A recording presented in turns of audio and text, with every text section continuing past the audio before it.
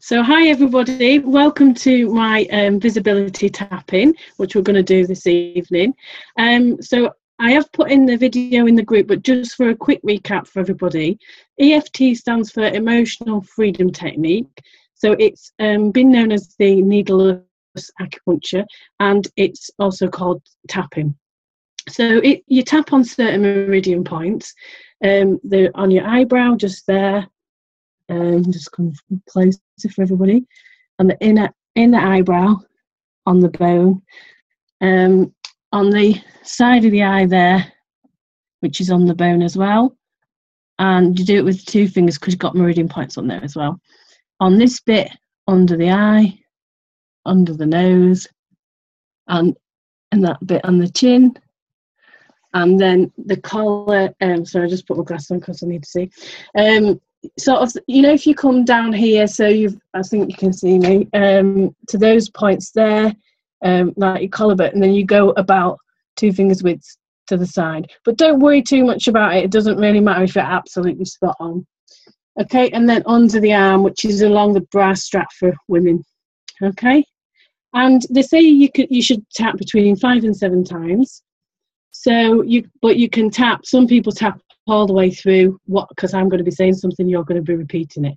So it's up to you if you want to keep tapping but some people get our make so you can just tap through what I'm saying or what what you're saying. So you can do it that way so five to seven at least. So yeah so with tapping when you tap on these meridian points it's actually releasing the energy the negative energy. It's actually releasing um, you're sort of acknowledging releasing those um, sorry so it's actually acknowledging and releasing those issues and those attachment to those issues and so that you're actually free from it. So you're not you're basically disassociating yourself from it. So it's it's making you um detach from it basically. Okay. So anything else? I was just double checking there's nothing else i need to say. Yeah. Connect to the relevant part because this is a group situation. Now, in my individual tapping, it will be very specific to the people that are saying it. So that's why I sort of asked for if people wanted to bring their individual um, comments and things and fears. But a lot of this will apply to a lot of people. Some of it is more generic than others. So, what I would say is really concentrate on the areas that you find most useful or resonate with you and try to connect with them and think about them more and then you'll get an even better experience by tapping and releasing them, okay? So, so you're going to repeat after me whilst tapping round. And so we do it in that order that I've just said.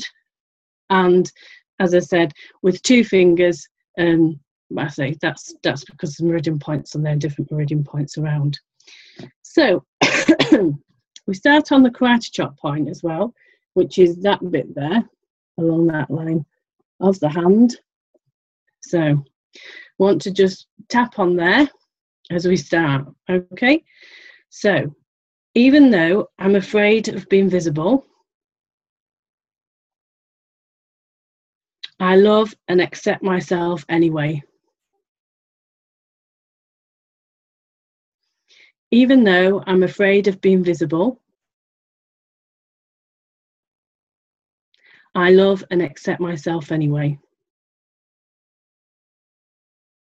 One more. Even though I'm afraid of being visible, I love and accept myself anyway. All these fears of being visible. I'm afraid of being visible. I'm afraid people will mock me. And say I'm barking up the wrong tree.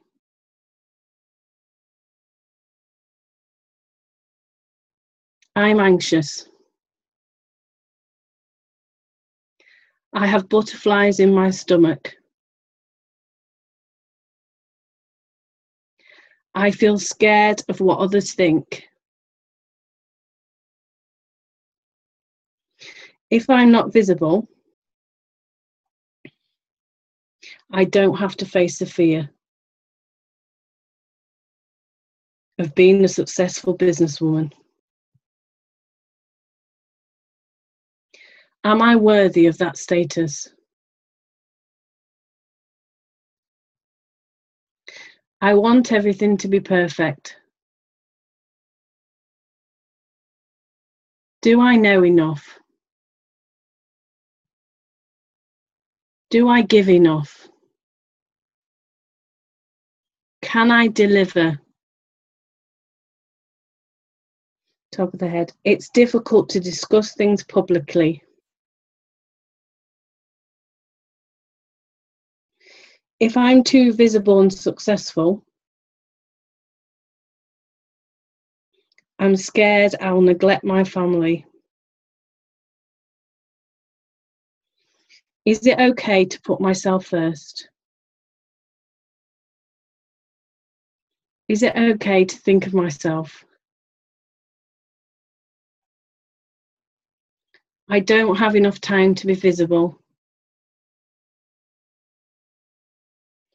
I'm too busy. What will people think? I can't be visible. Will they judge and criticize me? What if I say the wrong thing? It feels scary to be visible. It feels vulnerable to be visible. I'm not sure I can do it. What am I really afraid of? Is it really true?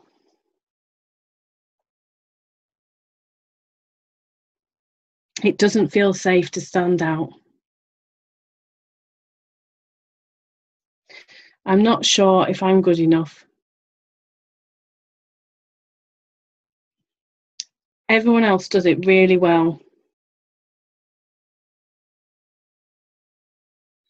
Can mine be as good as them? Will anyone want to listen to me? I just want it to be perfect. But this is stopping me from doing it all. This is holding me back. I'm putting it off. I should be able to do this, but I can't. It feels so scary. What if I'm trying my best and I can't do it? And people judge me. And people criticize me. What if I'm not good enough? All of these fears around visibility So take a deep breath in and exhale. Inhale and exhale. And just release all of that now. Okay. I just wanted to say, Sofia, is it will they see me on the recording because you're on the main screen? Is that all right? Yeah. Okay. I didn't know if because on the other ones I thought you just saw the main screen. That's fine. Okay. I thought it would be nice to have all of us doing the exercise. So. Oh, that's fine. Yeah, no, it's just uh, earlier I saw the main screen, so I was just thinking that that's okay. That's fine. So take another deep breath and we'll do the second round now. Okay, so that that round was basically the truth tapping. That was um, some people call it the negative tapping, and the reason why we do that is to make that shift out of the way so that positive putting on that positive is so much easier okay? So the next that should be released some stuff now okay? What i should have said again is at the beginning could you think to yourself what out of 10 how much was this an issue for me okay? So 10 out of 10 is the worst issue. It's just i've got so much fear i can't do it or whatever. And then how how much would you rate that out of 10 at the beginning? And then i want you to notice the shift in that by the end. So just have a little quick mental note on um, what you think that was at the beginning okay? So we're going to go into the positive tapping now okay? So okay. So on just that on the eyebrow on the positive. So when I become visible, people will start to know me, trust me, and eventually contact me. People will start resonating with my message and eventually trust my expertise. I am enough.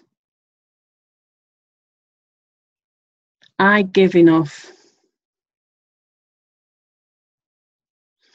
I can totally deliver my services to those who need it.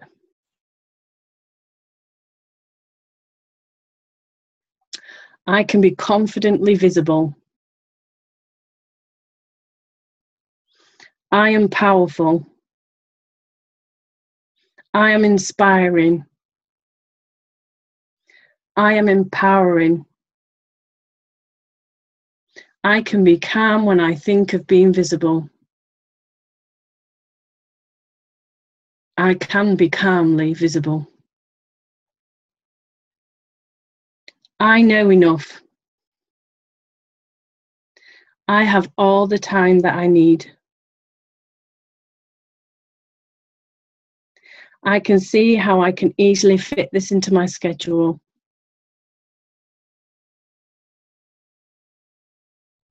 I trust that I can do this and have balance with my family. It is safe for me to be visible. It's okay to think of and put myself first.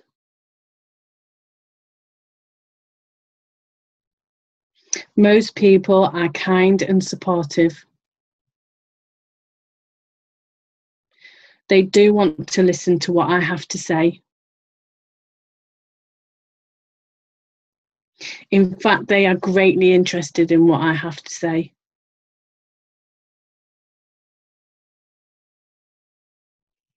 I want to help people.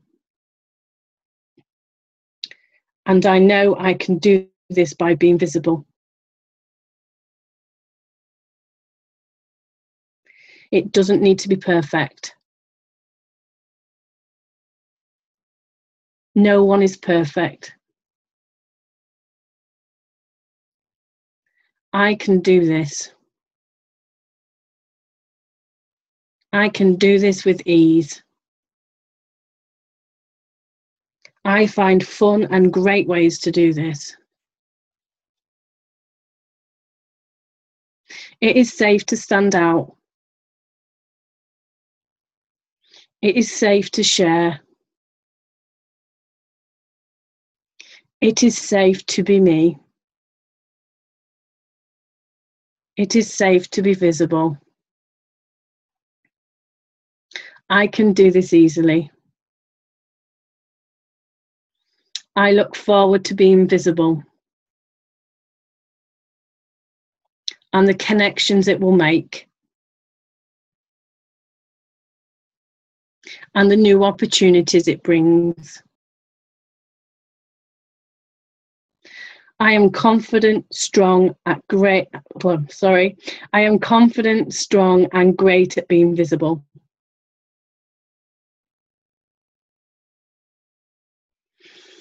Take a deep breath in and exhale. So this time you're breathing in all of the goodness and exhaling some of the bad still, maybe.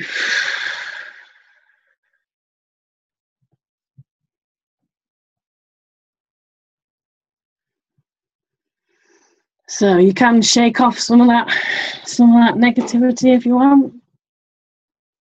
Let's see how you're feeling. So, how are you all feeling? I know you're all very visible, so uh, but so now to the people that are watching the recording as well, I would say now you need to sort of rate what is that fear out of ten now. So have you gone? You know, you will have you will have made a shift because everyone makes a shift. So what? How much of a shift have, have you made? What was it at the beginning? What is it now? So. So for me, at the beginning, was a seven. Yeah. And now, a four. yeah. Yes. Um, so I'd say for me it was about a six.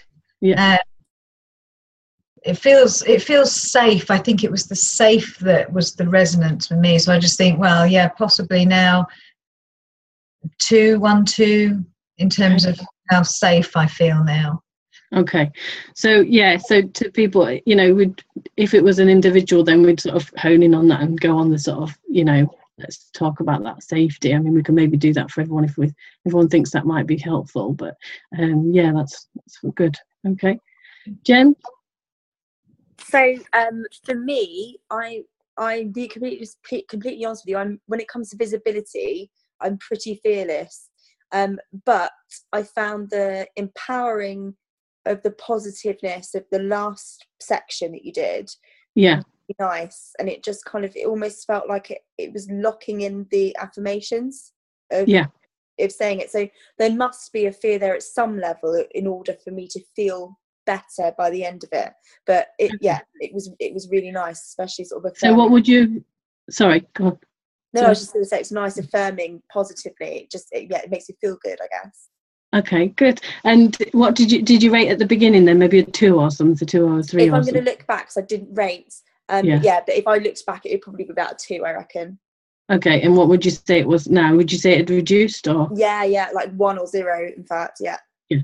Okay, good, good, excellent. So um, sometimes I find out people get down to sort of a three or a four or something, maybe two, um, with the tapping. So what I'd do, um, the second part is what I'm going to do now, which is the colour, the colour stuff, the colour visualization. Now I have used this on its own, and I have, and people have had shifts from one person had a shift from ten to a zero just with this this technique. So, but I often use it after the tapping just to chip away at those last one or two you know, or bring that number down a little bit bit further. So I'm going to have to be general because we're doing it for a group.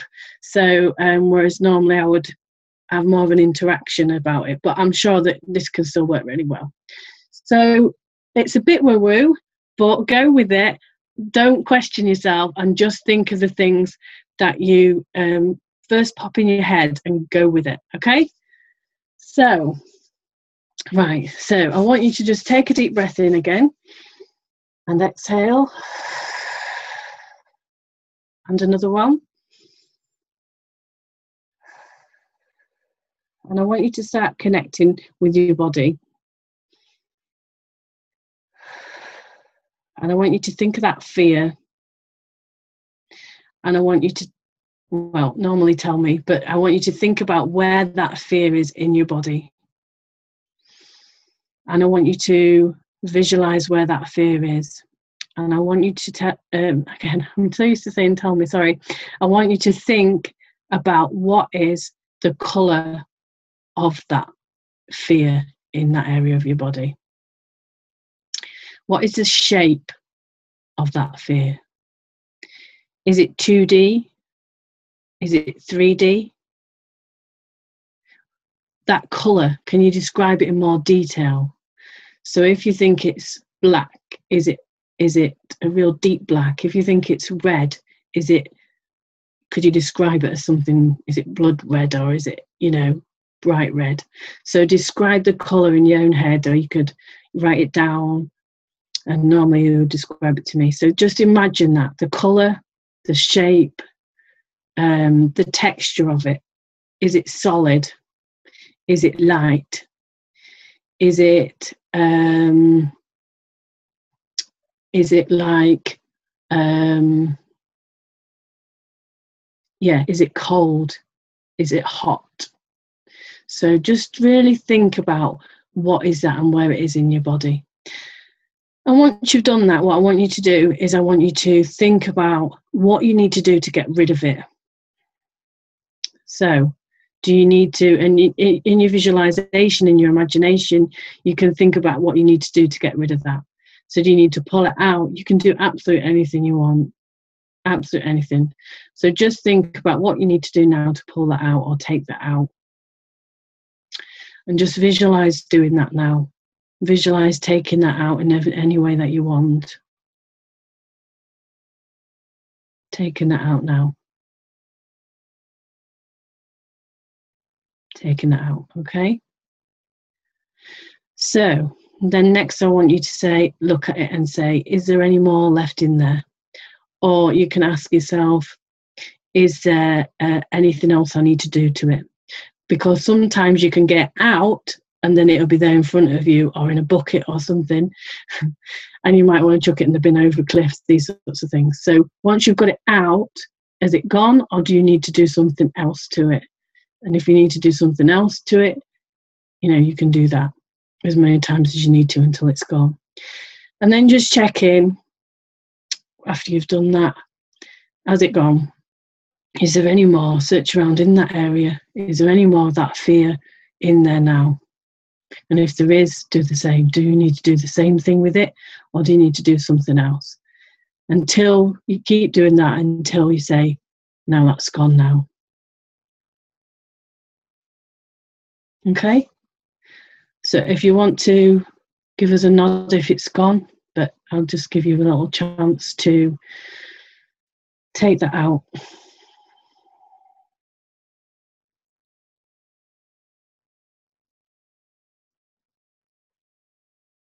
Okay, so now what I want you to do is have a think of what colour do you need to put back in it. Okay, so again, think of that colour. Think of is if it's yellow, is it bright yellow? Is it like what is the texture? Is it exactly the same shape to replace? Is it lighter? Is it, you know, just describe it to yourself and find all the detail of it. And when you've connected with that, and you can put it back in to where you need it to be. And sometimes that can go into that certain area, and sometimes it will flow into the whole of your body, or whichever way you feel is comfortable and what you're needing to do. So you can breathe in, you can imagine it coming in to where you need that to be right now filling you up.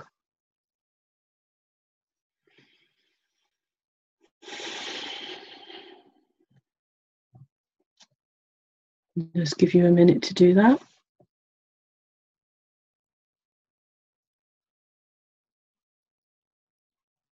And it's sometimes nice just to sit with that a minute because it feels really nice.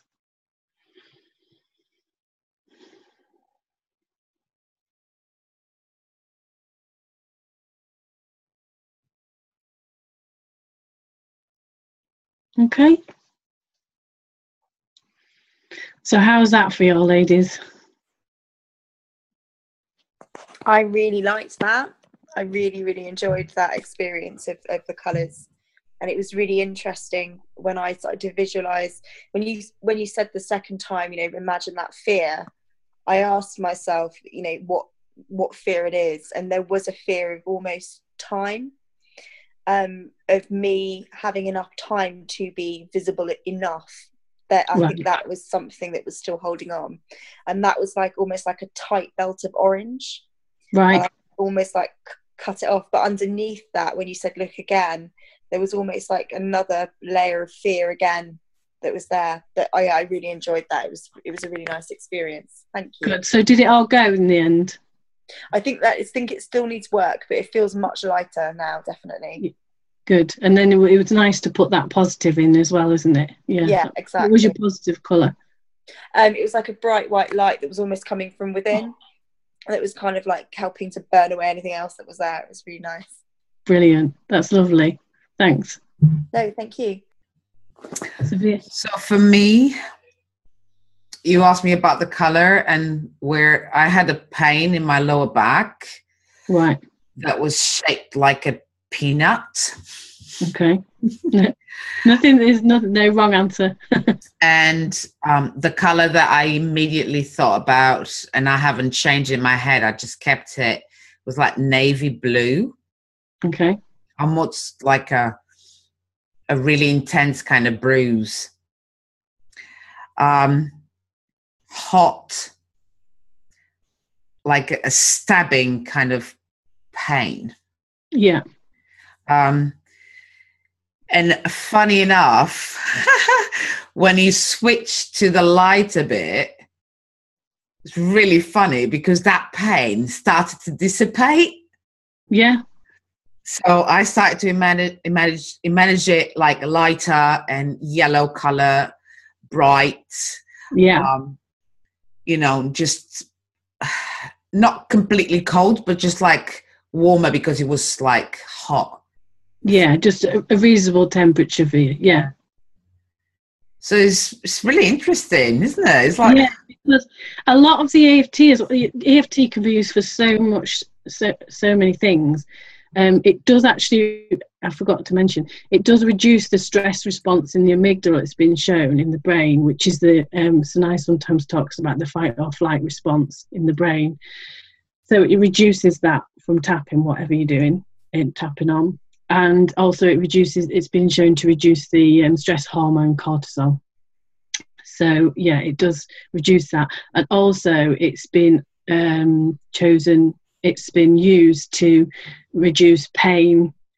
Often, people that have had lots of illnesses over a long period of time, some people work with people on their illnesses and reducing that and how stress affects the body. For me personally, um, I had MS symptoms 18 months ago. I had absolute exhaustion, pins and needles, all sorts of different things like that, um, heart palpitations. I was under a cardiologist and a neurologist. So, this is how I started with my EFT journey. So basically, when it started and I tapped on it, I realized how stress was causing my physical symptoms. And that's kind of how I got into it. Um, and so the tapping really helped me to reduce it. I was getting shakes and stuff like that as well. So, yeah, it really reduced my um, stress levels and my physical symptoms as well. And it can be used for that sort of thing. So. Um, Sinai said that it's a really powerful exercise and her positive color was yellow and i experienced that positive color flooding my body. It was a real sensation and felt lovely. Lovely. What was your other color when you started the exercise tonight? You often find just while waiting for it to, to, to answer um, you often find that um, originally the colours can be very dark, sometimes red if it's anger or anything like that. It can be very solid and very stuck and or gloopy or something like that. And then the the other colours that come after, charcoal dark grey. Yeah. So the other colours that come after are very much lighter, the more to do with light clouds, that sort of um, texture and lighter colours and vibrant colours. So, yeah. Yeah. I think it's a beautiful process. It's really interesting, isn't it? And um, I suppose we, you know, we're all going to keep this video for doing the exercises, um, yeah. just over and over in regards to visibility for who needs it. Yeah, you um, can do. Yeah.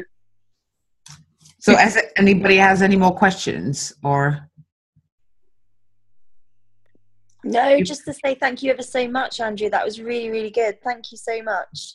Great. I'm pleased you enjoyed it. Thanks. And uh, um, can you all, can you tell us all uh, where we can find you?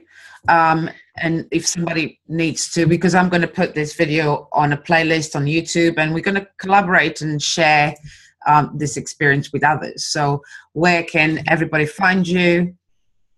Yeah, so I'm Andrea Hood, EFT Mindset Freedom Coach, um, and you find most of my information on Facebook. Yeah, I do What's have a website. Facebook page. Um, yeah, it's Andrea Hood, EFT Mindset Freedom Coach. I'll put, we can put a link in, can't we? Yes, of course. might yeah. be Mindset Freedom Coach EFT actually when I originally set it up. So yeah, I have yeah. got a website um, www.andreahood.co.uk. Um, it's um, on, yeah, I've got awesome. that. Awesome. That's amazing. Thank you so much for coming in and um, giving us this experience. Um, thank you. Okay, thank you for having me. So I'll just stop recording now.